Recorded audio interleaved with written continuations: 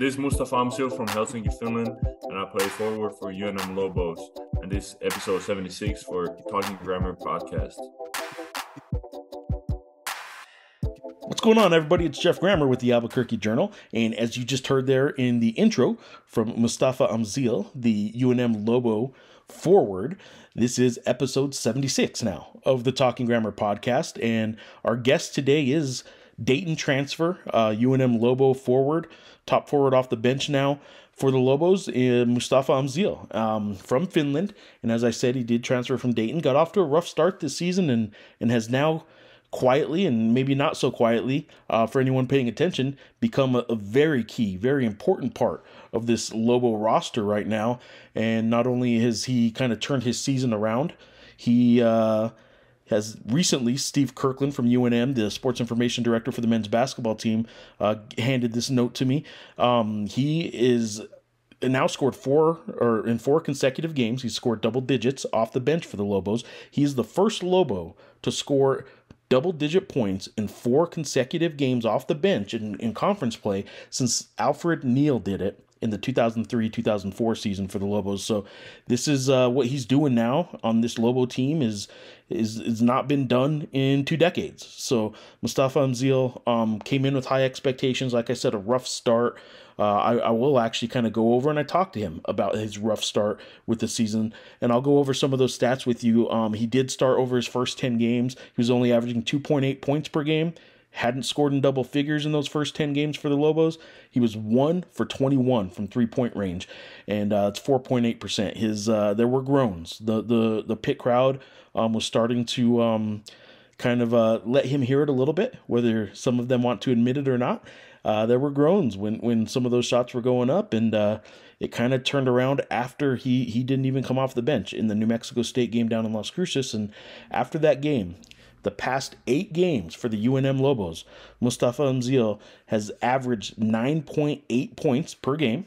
He has scored in double digits six times in those eight games, and he's eight of 19 from three point range. That's over 42%. That those numbers are are fantastic. Those are starter numbers, and uh, he's doing it off the bench, and he's also helping uh, fill key minutes and key moments and key stretches of the game at the five spot, at the center spot for for Nelly Jr. Joseph, which allows JT Toppin to not have to play that five spot. The the great freshman for the Lobos right now can can still play his power forward, his number four spot on the roster. Um, he can fill that role and, continue to dominate as he's been doing. So Mustapha Amzil has been doing uh, just great work after what was a pretty rough start. I, I, appreciate him for talking, indulging me a little bit, and talking about, um, you know, what it took to get out of that, which was basically, you know, nothing. Just trust the work you've put in for for a long time. He's put hundreds of hours into the gym, into the work, and he he sees those results in practices and and working in the gym. So why change things too much when in a short, really small snapshot? Um, of, of, five to 10 minutes of playing time on the court just happens to be where we all see it, the media and the fans. Um, why change things because it's not working then? He knew it was working. He kind of trusted the process, the old sports cliche now, and uh, he stuck with what he knew was working, and, and it's come around for him. Um, he, he, he had some patience. He was getting frustrated, but uh, he showed patience, and now he's a, a huge part of what the Lobos are doing to succeed. As I record this, as this episode's about to come out, um, it is Monday, and a new AP poll came out, and the Lobos, riding a three game win streak, are now the number 25 ranked New Mexico Lobos. They are ranked for the first time this season in the Associated Press top 25 poll. Uh, the three game win streak that they are on right now um, includes uh, an 18 point win over then number 19 ranked San Diego State. That was last weekend in a sold out pit on CBS Sports. They then beat number 16 ranked Utah State by 13 points. They then go on the road, and while it's a last place Air Force team, um, they beat them on the road in conference play by 19 points. Same Air Force team that just took four days prior, Tuesday night in Fort Collins, to Colorado State to overtime. Uh, they were up on Colorado State by double digits at one point, uh, with about six seconds to go. I think it was Colorado State ties it in regulation, forces the has to rally to force an overtime on their home court and then they pull away from Air Force in the overtime. But um, that that is an Air Force team that when things are clicking can can really um, give teams fits, and uh, didn't happen Saturday against the Lobos. The Lobos are firing on all cylinders right now. Mustapha Amzil's a big part of that. Obviously, JT Toppin is a huge part of that. He had 25 points, 13 rebounds in the Air Force win Saturday, and today was named Mountain West Freshman of the Week. That sounds familiar. It should. Out of 10 possible Mountain West Freshman of the Week awards so far this season, JT Toppin is now he has now received six of them. It might as well be, as I've said to others, it might as well be the the Mount the JT Toppin Mountain West Freshman of the Week award should be named uh, in his honor, and uh, he has now won it six times. Obviously, no other player uh, in the league has won it that much. Uh, his teammate Tru Washington has won it one other time. So the Lobos have owned seven of the possible ten uh, Mountain West Freshman of the Week awards this this season, and uh, he's he's kind of approaching um, unprecedented ground because while this award's only three years deep, the Mountain West didn't used to give a weekly freshman award. Um, three years ago, in the first year, Tyson Degenhart, the, the great big man for Boise State, who was a Player of the Year candidate this season, um, when he was a freshman in the 2021 22 season, he won the Freshman of the Week award nine times well, now JT Toppin's on his, you know, hot on his tail there to uh, to maybe get nine himself this season. Um, what he also did Saturday with that 25 point, 13 rebound double double, that's number six this season for JT Toppin as a freshman in terms of double doubles. That's one off the UNM program record of seven for a freshman, seven double doubles by Kenny Thomas in the 1995 96 season. He had seven as a freshman. JT Toppin is now one away from the Lobo freshman double double record. He also now is keeping pace with the two best big men, or the two of the three best big men in the league. I do think Degenhart is in that category, but Great Osobor from um, for Utah State, who came into the pit last week and, and lost in part because of JT Toppin's play, and Jaedon LeDee who um, is the All America candidate for San Diego State, who just a week and a half ago came into the pit and, and lost, again, in part because of the front court play of JT Toppin and Nelly Jr. Joseph. Those two guys have, have kind of owned the league this year in terms of double doubles. Overall, this season, those two guys have nine double doubles. JT Toppin is third in the league in double doubles with six of them. In Mountain West play, just league versus league uh, play, it is a three-way tie for first place in terms of how many double doubles or the team or the, the league leader rather in double doubles between Jaedon LeDee, Great Osobor, and JT Toppin. All three of them have had three now in league play. So things are going good for JT Toppin. Things are going good for the Lobos. They were not the only Mountain West team uh, that was ranked today. Uh, when today's AP Top 25 poll did come out, uh, number Utah State, which as I mentioned just a while ago, uh, was number 16 last week when they lost in the pit. A kind of a sign of respect here. Despite that loss, they did bounce back and beat Fresno State pretty handily at home. And uh, so, despite that loss in the pit, they only dropped two spots in the AP poll to number 18. Colorado State is also ranked. They're number 24 in the poll. The Lobos come in at number 25. They actually have a fairly comfortable, in terms of points, a comfortable lead over the top team that is not ranked, and that's Seton Hall this week.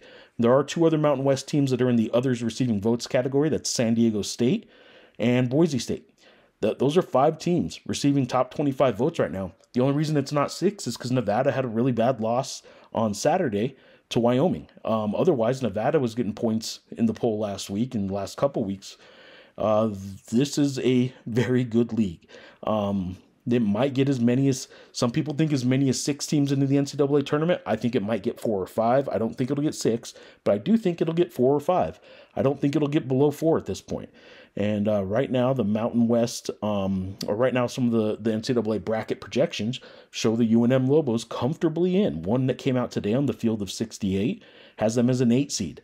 The last teams that get in as an at large team in in the field are usually in the either 11 or 12 kind of playing round range in that spot right there. And um, they had you know field of 68 today had the lobos as an eight seed. So things are looking good. Uh, the net rankings the newer net rankings that came out today unm was 24th in the country. Um, number one was san diego in the mountain west was san diego state at number 20 so four top 30 net rankings belong to mountain west teams I think things are looking pretty good for this for this league, but there's some tough games coming up. Uh, for the Lobos in particular this week, they have a road game at San Jose State and on Wednesday night, and then they have the the big game Sunday night.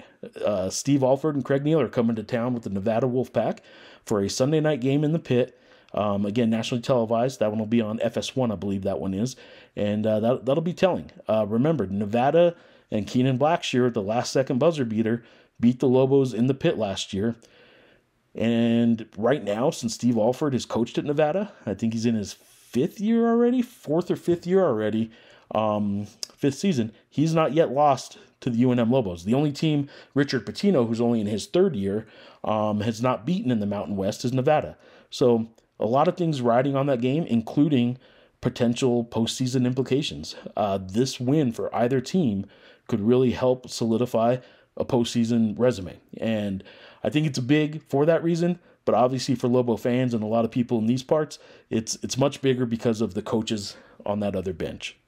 For right now, though, uh, let's get to this conversation I had today with Lobo forward Mustapha Amzil. I keep saying his name. I, I I've all season called him Mustapha Amzil.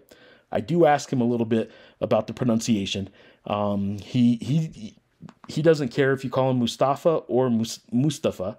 Um, I, I, do believe, though, it is more correct to call him Mustapha Amzil. And um, again, we get into that a little bit. We get into a lot. He was he was pretty open, pretty candid. So, um, hope you enjoyed this conversation with UNM Lobo forward Mustapha Mustapha Amzil.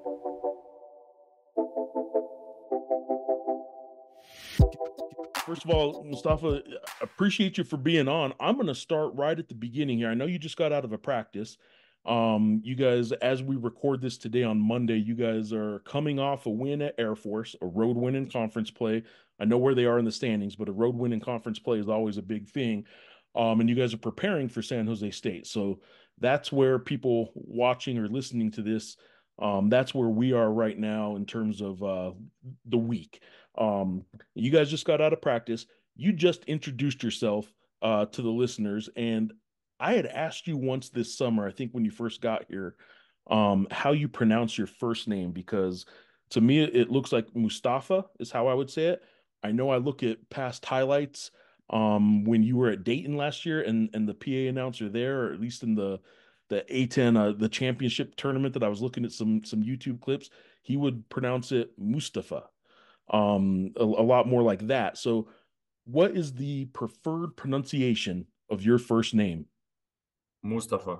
Mustapha. Okay. So I'm saying that I've been kind of saying it wrong. Now I'm a writer. I don't have to actually ever say it. I just get to yeah. write it. But but Mustapha, more of a Mustapha than a Mustapha. Yeah, it's like Mustapha. Yeah, Mustapha is more of an English way of saying it. That's more of the Americanized kind of yeah, way, right?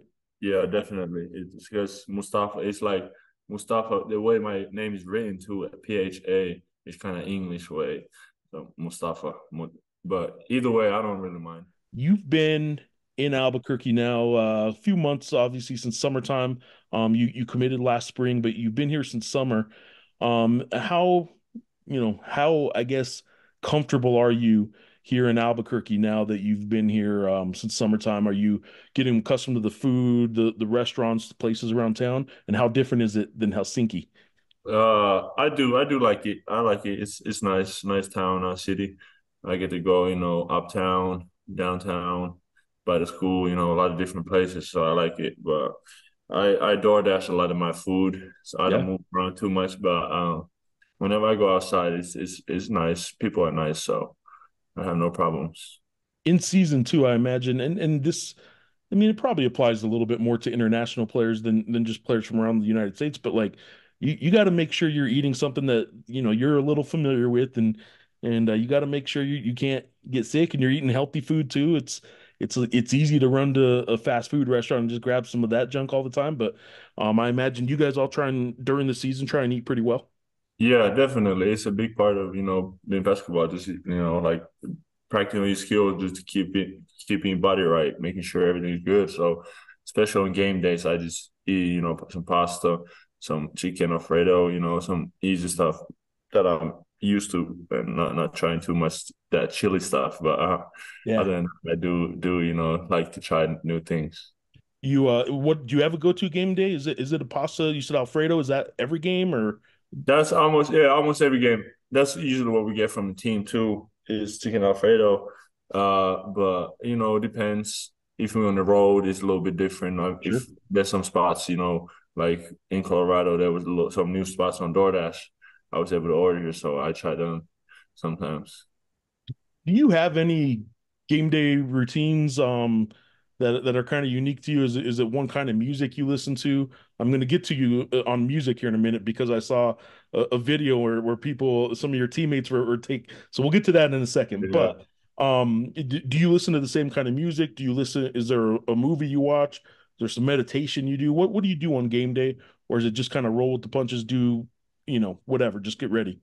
Uh, trying to just take it easy usually before the game. Uh, I have you know we have the shoot around. I'm I'm trying to always have a nap, like sleep a little bit between shoot around and the game, because I go I go to the arena two hours before, get some shots yeah. up, work on my game a little bit. Uh, but just you know, music is I try to listen to up tempo music, you know, some hype, hype stuff get me fired up, and then just you know the nap. That's basically just what I do. Everything else is just whatever comes to mind. All right. If somebody around is walking around your your guys' locker room right now and they're asking who plays the best music and who plays the worst music, and I ask you this because I already saw on social media some some of your teammates said that you have some crazy music that you like. I imagine to you it's just normal music, but like, what did you see that clip? I, I think it was. I seen it. I definitely seen it. but I think there's haters. I play a lot of. I play a lot of music from back home, Finnish music. You know, they obviously they don't like it. I play some UK UK rap too. You know, it's English, but they still don't understand it, and uh, you know, it's just some some of them like it, some of them, you know, don't. But but I still do my thing, you know. When I get the aux, nobody telling me that I can't get the aux. So, so, so I just try to play play whatever. How is that? How you said the aux? Like when who? How do you guys rotate that? Who gets the aux? Who who is it? The first one back to the locker room after a practice? Like how do you guys rotate that? Who who's in charge of the music? It's usually whoever gets it first uh, especially like in the weight room when we play music. On the road, Q got the aux a lot of times. Uh, but I don't know the the speaker be kind of quiet on his phone, so there's some problems on his phone. So I think we're gonna switch it. But yeah, but uh, it's just whoever is first. All right, nobody else is here to disagree with you, so I'm going to ask you the, the music question.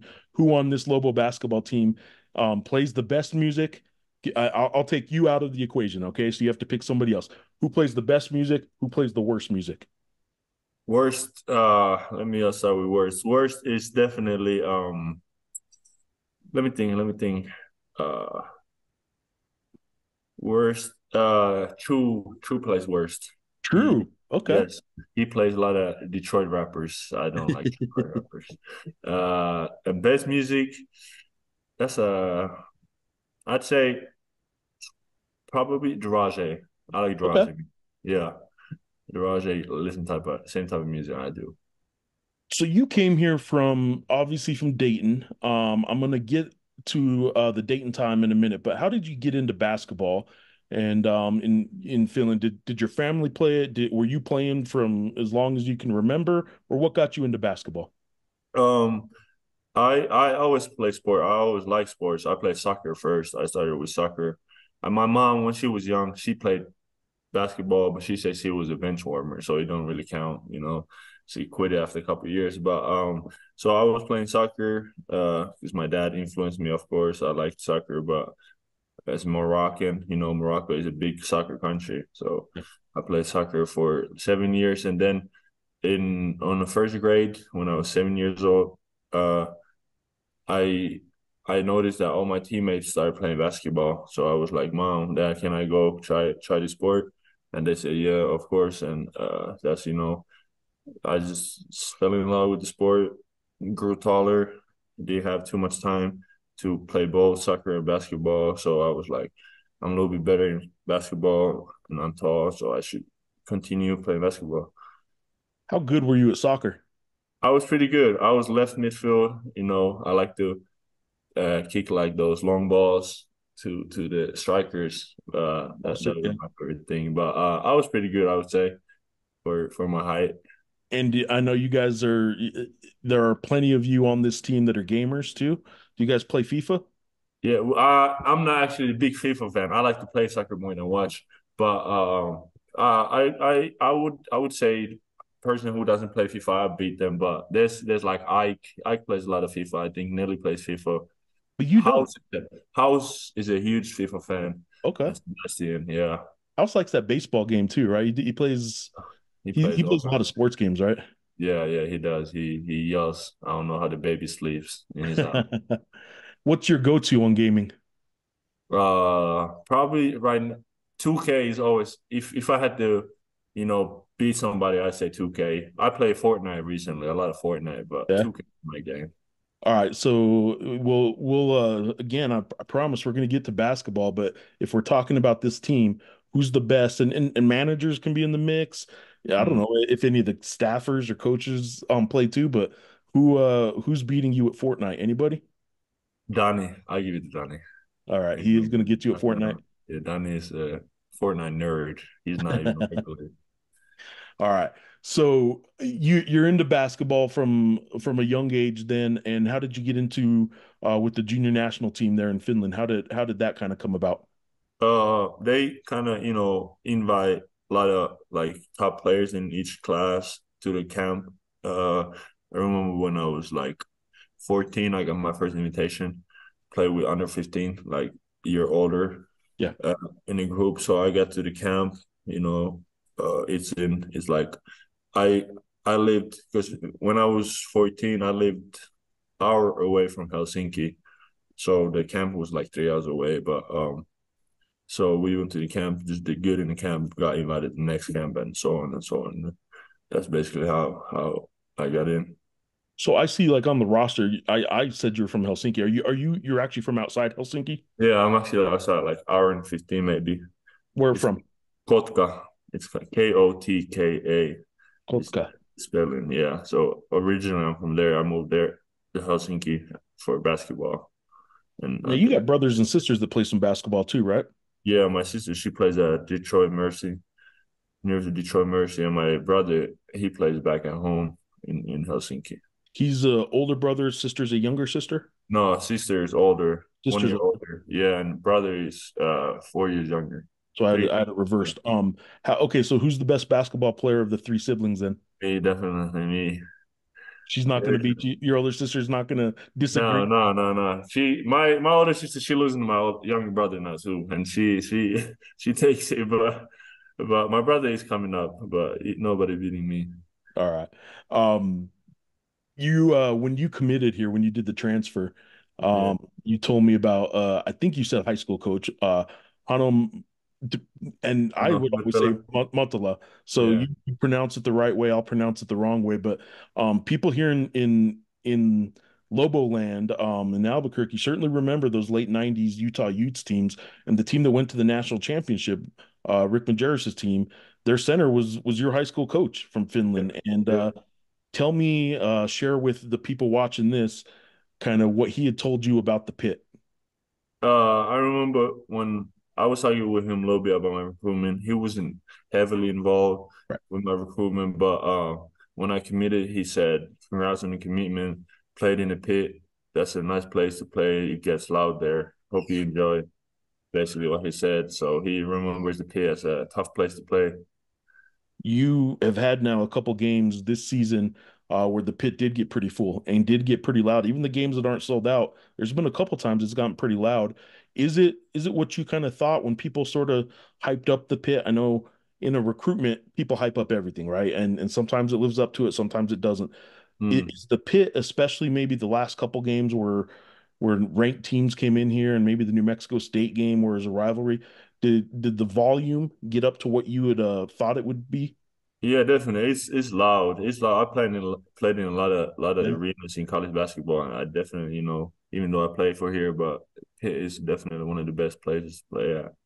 And um, it gets loud. It's it's not even like some places you get loud for like a short period of time, or if the team does good or something, but then it drops and comes up. But pit is like consistently loud, so I think that's that's a difference.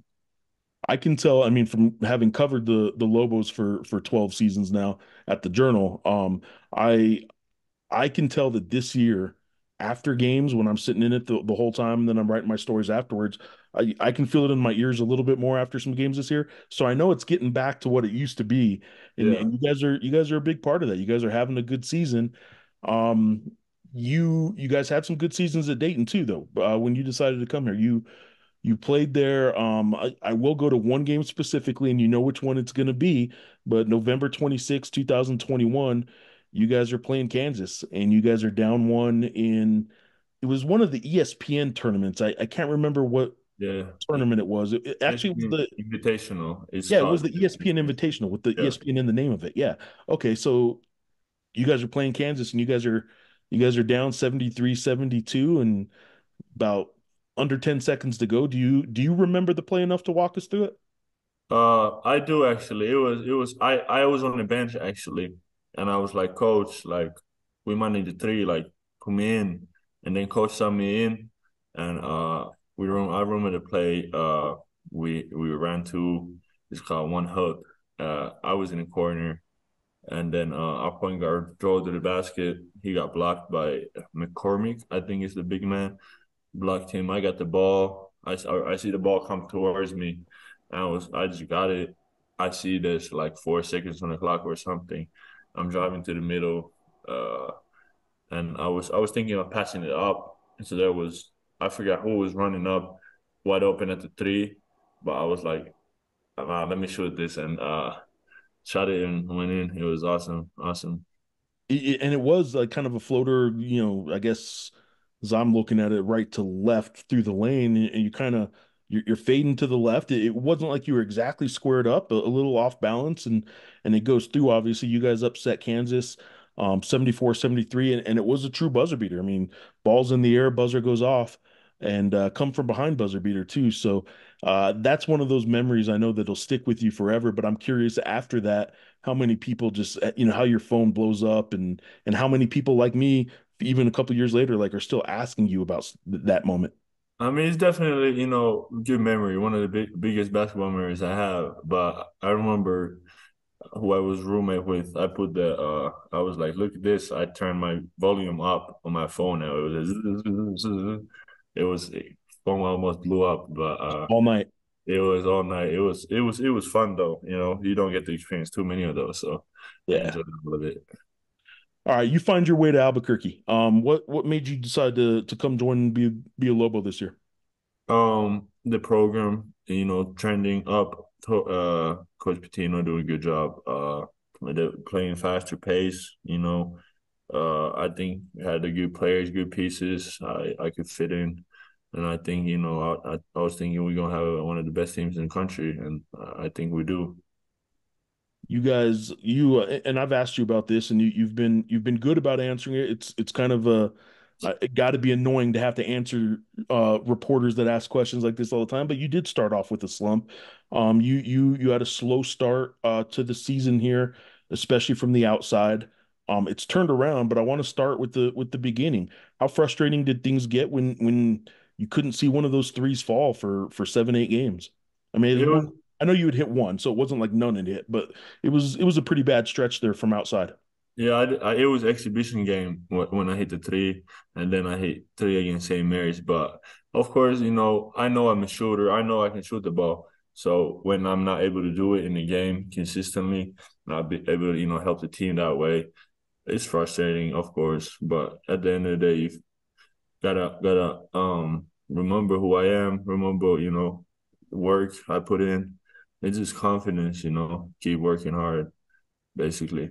That I mean, that's maybe the biggest thing I think for high level athletes, right? Is like we all look at results, reporters, fans, we all just look at what's happening on the court on game day, and and the difference sometimes between high level athletes and and us is that you guys have to trust that like you didn't just put in two hours on game night. You've put in a whole week. You've put in however many hours, and, and you have to trust that all that other stuff is who you are. It's not just that that moment at the game. And um, so how hard is it though? Um, when again, when when the thing that all of us see is the is the rough part, you you still kept confidence through that whole stretch in your mind. You still kept confidence that these are going to fall eventually. The, yeah, uh, it's of course, you know, when I'm shooting, I had a little, you know, I wouldn't say doubt, but you know, it was in my Well, frust- mind. well, probably frustration, right? Yeah, yeah, yeah. So every time, you know, I'm shooting, I'm missing. I'm like, I don't know, I- like I didn't know what to do because I worked in in practice. I'm making these shots, but then it's starting to affect practice too a little bit. But uh, just, you know, there's not too much to do. Just, you know, keep working, keep getting shots up. That's, you know, that's what turns things around. Well, for those that uh haven't been following closely, I do I, I will say that over your last eight games, um, you are now averaging 9.8 points. You've had six double figure games. You're you're eight of 19 from three point range. That's over 42%. And uh, one note that Steve Kirkland gave, um, I will tip my cap to him for this. You've now scored double digits off the bench in four consecutive games. It's the first time that a Lobo has done that in four consecutive conference games since the 2003-2004 season. So what you're doing right now isn't isn't just um, you know, kind of catching back up to to maybe a slow start. You're a big time contributor to this team, and you're getting some boards, and uh, you're you're doing it, uh, spelling Nelly a lot at the five, and and that's another thing I had asked you about earlier this year, how comfortable you are playing the five. But you're you're stepping into a pretty big role here, kind of uh, midway through the season, and and and you know, kudos to you, man. You you you did shake off a bad start. Now you're a big part of this team. Is it a lot more satisfying when you know that again, you trust what you're doing in practice, but you know that stat sheet at the end of the day shows that you had a pretty big piece of a lot of these recent wins. Yeah, definitely. You know, that's at the end of the day, basketball is, you know, when I get on the court, I just don't want to run around. I want to, you know, produce and make a make an impact in the game. So yeah, I feel like I can still play better. I feel like I'm like getting into it, you know. I feel like uh if this is, you know, the beginning, uh at the end of the day, that's why I came here. I'm able to produce and help the team win. So I think I think uh it's not just something that happens for for these four or five games. I think it'll be it'll be going up even even more towards end of the season. I can tell too that from again from my stance just watching you guys, it seems like you're having a little more fun with it because I think if I'm not mistaken, I've seen a couple ha have I seen a couple after a bit Yeah, but no, I couldn't do it after one or two makes. You know, I had to wait till I start hitting them. You know, so I can be myself again. How long have you been doing that? uh, I've been doing it for a while. Yeah. I think every every year I've been in college, I do the bow and arrow Yeah. sometimes. So yeah, But but you knew after the first couple you you you had some ground to make up before you could pull it out again. Yeah, yeah, I had to. I had made my first two. I don't think I even did anything. I don't. I didn't do any celebration on my first couple ones. I think But that first one you made after that long stretch of, of kind of struggling, didn't yeah, it hit the rim, rim, backboard rim? Wasn't that the one that yeah, that was. the one I was like, oh, finally, one one of those one finally went in, right? yeah, Um, I, I had Steve actually ask you about this last week, but um, for, for people watching you on the free throw line, and, and the numbers are good, man. Like there, there's no denying the numbers are just fine, so it's working. But uh, I, for fans that watch you shoot free throws, you are off to the right. yeah. When when did that start? How did it start? Because it blew my mind when when Steve told me what your answer was to that. Um, how long have you been shooting a little bit off centered, and uh, how, how did it start? It's it's been a, a while. I think it started somewhere in high school. At least when I noticed it, uh, like freshman year, sophomore year, when when I was told that, why do you shoot so much on the on the on the side? And I said, what do you mean I shoot on the side?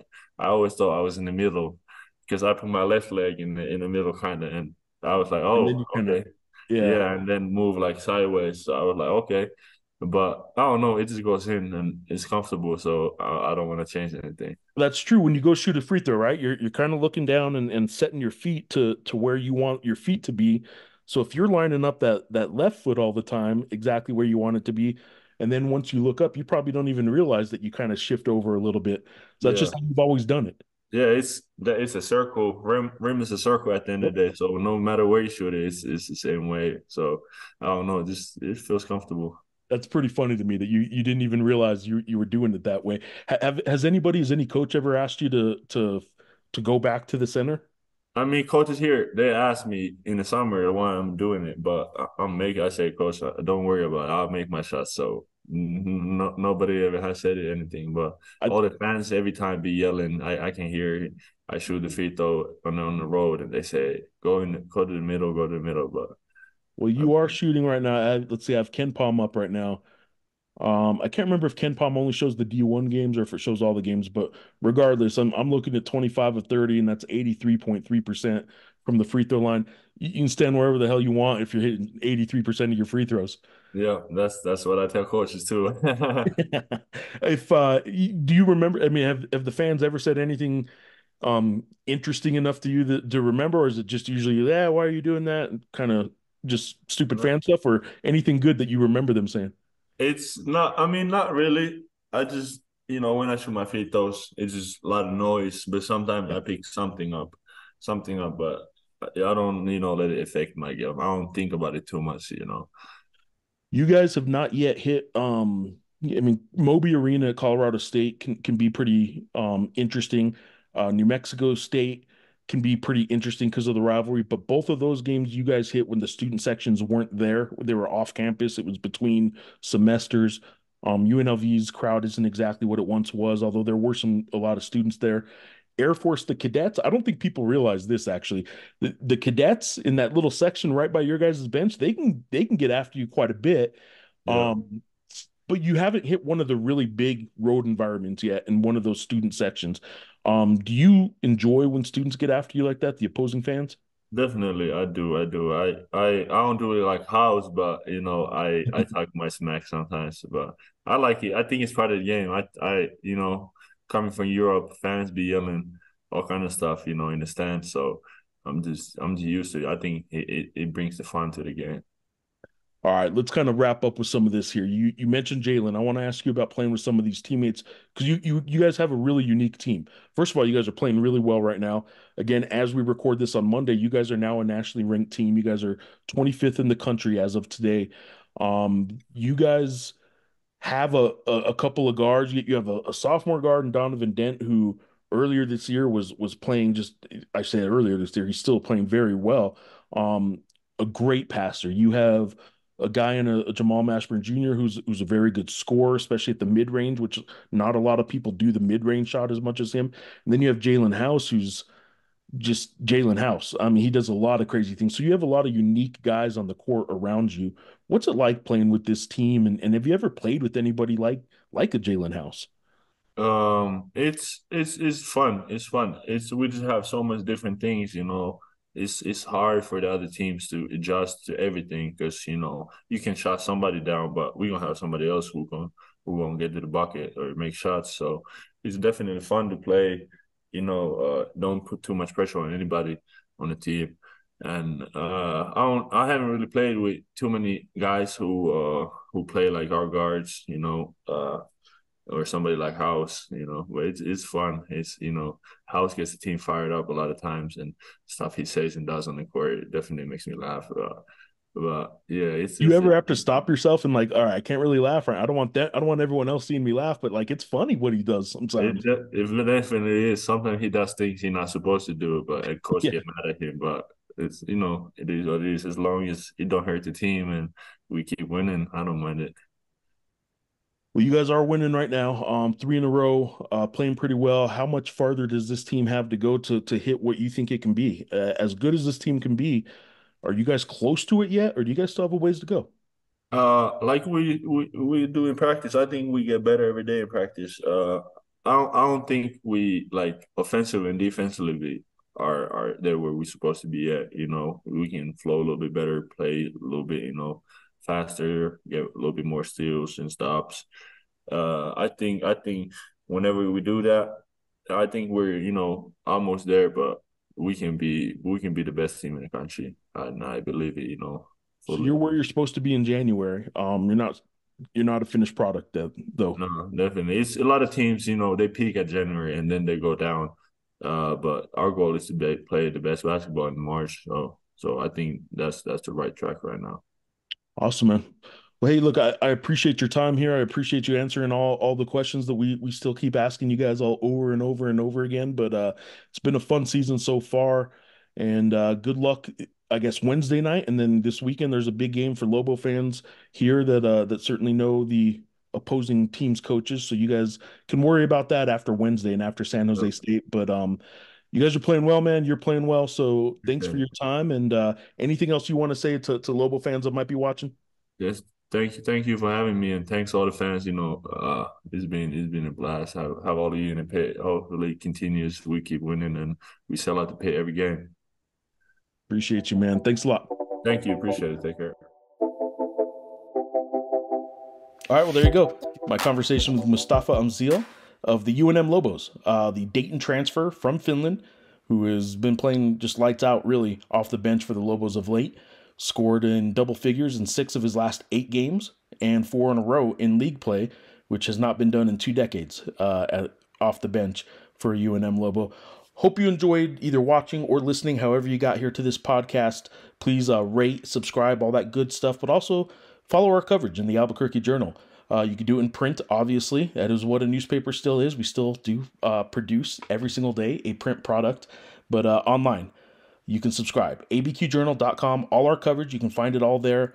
Local journalism is important. Covering a team like the UNM Lobos only happens with your support and subscriptions to the print and digital product of abqjournal.com slash subscribe is how you can help support local journalism there. Um, hope you enjoy this. Every Tuesday, we're going to be coming out with a new episode of the Talking Grammer podcast. This was episode 76. Again, thank you to Mustapha Amzil and the UNM Lobos for, for letting a player come on the show. And uh, hope you enjoyed it. Let me know what you think on X. I'm at Geoff Grammer, or you can email me, ggrammer at abqjournal.com. And until next time, thanks for watching.